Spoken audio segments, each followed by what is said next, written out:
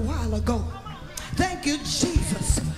I heard it. Uh, wait, wait, wait, wait, wait, wait. Somebody used to say it. They, they kind of uh, uh, uh, quoted it this way I'll let nothing So separate me. pastor can preach. And there's no doubt that Pastor Maxine Gray, my pastor, can spiritually articulate the word of God. So, why do I think that she's the most valuable pastor? It's because of this. She leads by example. We're talking about a woman of God who endured such diagnoses as bacterial meningitis and cancer on two different occasions, but she continues to give God her heart and all of her praise, and she shows us how. Pastor Gray is the epitome of let everything that has breath praise ye the Lord.